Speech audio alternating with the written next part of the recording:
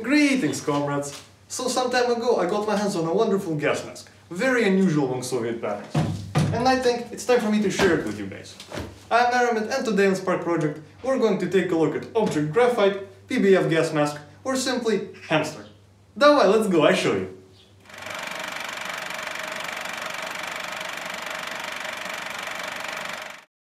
As I mentioned, this gas mask is pretty unique in a number of ways. The name PBF is an abbreviation for Противогаз бескоробочный фильтрующий, which roughly translates to canisterless filtering gas mask. It is derived from how the gas mask in fact does not use filtering canisters, although the popular name for it is hamster, for obvious reasons. It was developed in the late 60s under the designation of Object Graphite and adopted by the Soviet Army in 1973. It was most likely produced taking inspiration from and as a response to American canisterless gas masks from the Vietnam War era, such as the M17 and its derivatives. Unlike the American counterpart, the PBF was not a general purpose gas mask. Due to its streamlined features and lack of protruding elements, it was originally specific to the Soviet Airborne, or VDV. It was to be used by aerosol detachments during parachute landings into contaminated areas. The sleek features, alongside general wearing comfort, made it popular outside the VDV, among vehicle crews, officers, and more. However, the PBF has one major downside its short protection period. An export version of the PBF gas mask, with its distinctive features, was also produced, intended for the East German NVA, but that's a whole different story. Taking a closer look at this beautiful specimen, the first thing that catches the eye, apart from the wonderful condition, is the packaging. We see a lot of plastic, which is very unusual for Soviet produced items of this time period and was usually reserved for higher grade equipment. This is an example of a complete PBF kit, and it includes two filtering inserts, a face piece in a watertight bag, two external inhale valves, a carry bag, spare voice membranes, and is additionally equipped with a personal anti-chemical package. What we do not have is an instruction manual. In fact, I could find absolutely nothing on primary sources or documents for the PBF throughout three hours of searching the internet, although they for sure do exist. I will continue to look for them, and if I do find anything, I will as always drop them on our Boosty and Patreon pages for free. But if you want to support the channel, you can also sponsor my quest there as well. Thank you.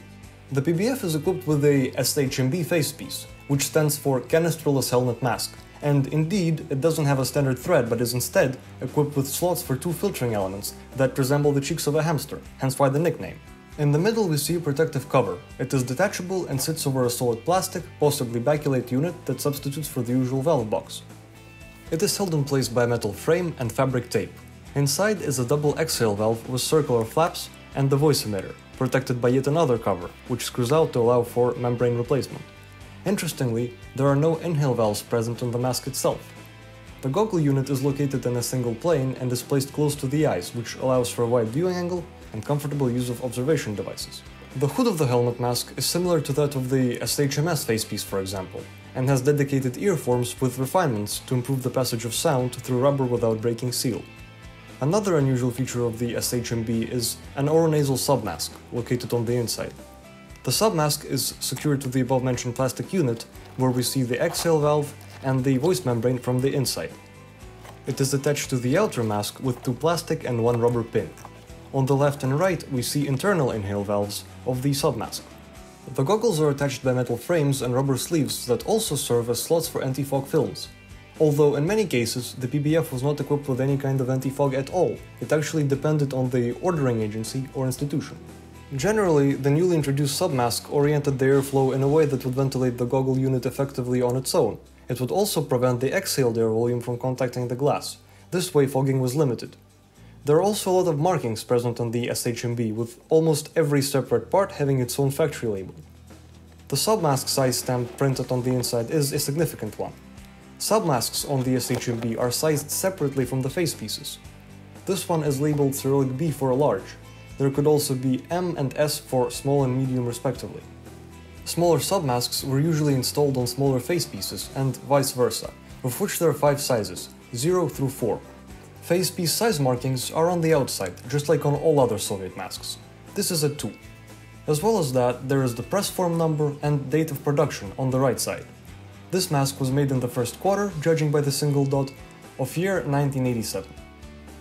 Back on the inside, if we remove the submask pins, we will be able to access the slots for the filtering elements. And let me tell you, shoving this suka in place is no shashlik. so for now let's take a look at them separately.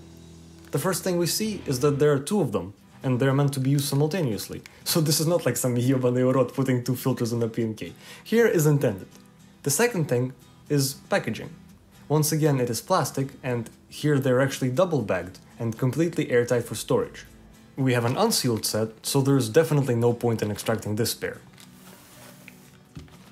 These are EO19E canisterless filtering elements. EO as always stands for single sample number 19, with E which is actually Cyrillic E and not E, likely meaning element. These are not FPK style canisters traditional to Soviet filtering gas masks. They are different by both external and internal layout, and as a matter of fact don't have a dedicated carbon layer. Internally, these are based around two relatively thick fabric packages, infused with a chemically active element, and protected by hydrophobic and structural layers on exposed surfaces. They are separated by a skeletal plastic frame with an empty space exposed to an inlet superstructure. Given that the filter is installed inside the mask, it is constructed this way to let air travel in both directions while still passing through filtering layers. This feature, doubled by the amount of filtering elements, is what gives the hamster breathability unmatched by other Soviet gas masks. Yet it is also responsible for its most significant downside, the lifespan of as little as 20 minutes. On the outside, the filter is enclosed into a plastic frame, which on one side is stamped with a batch number and, what is very unusual, also an individual serial number. On the reverse side, we see a number in a circle, which is a factory of origin designation as far as I know we also see the item designation, EO19E, and a date of manufacture, 4th month of 1987. And now, comrades, it's time to put the skill of shoving square objects into circular openings to good use. To assemble the gas mask, we need to insert the filtering elements into slots on the face piece, which is for sure easier said than done. Ay, блять. Luckily, there is no right and left at least,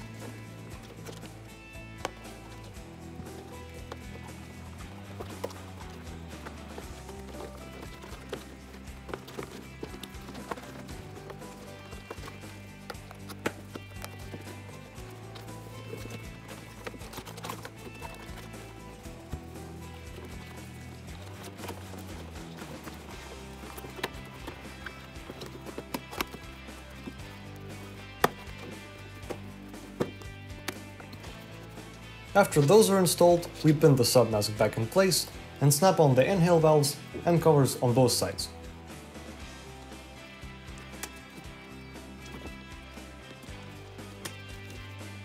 The gas mask is assembled. Go make a butterbrot. Now, because there are no plugs and seals like on regular FPKs, it is very vulnerable to moisture. That's why the PBF is equipped with a watertight plastic bag meant to protect the assembled mask from the elements to be used when traversing water barriers and whatnot. The PBF bag is also pretty compact and possesses slick features, if that can be said about the gas mask bag. Frame inserts are used to prevent things from poking out and for the bag to maintain its shape. The shoulder strap here resembles a weapon sling or a trousers belt. The waist strap is normal. There's also a belt loop to make the bag compatible with Soviet RPS and RD-54 load-bearing systems.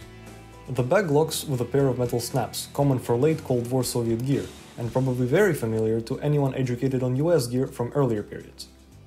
Since there's no flap, the factory stamp is located on the inner side of the back wall. Unfortunately, the factory name is not recognizable, but the date of manufacture is 4th month of 1987. On the inside, the bag is compartmentalized in a minimalist way. There is a main compartment, a compartment for loose items and filters when disattached, and a compartment for a personal anti-chemical package, like this IPP-8. We have a nice early one here. On the outside, there is also a pocket for spare voice membranes and anti-fog films, if the kit in question is equipped with them, which ours isn't. Speaking of anti-fog, another solution is a KPZO crayon, which would work pretty well on this gas mask.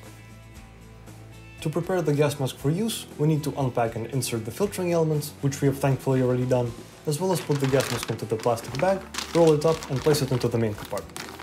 The anti-chemical pack and the spare membranes will take the respective slots, and all the loose items we can return to the second compartment. When it comes to using the PBF, I can assume pretty safely that it was meant to follow identical or similar guidelines to other Soviet filtering gas masks. But since I couldn't find the manual, I cannot fact check this, which means that we will not be discussing wearing positions this time. Instead, we can just take a look at an equipped PBF kit in general.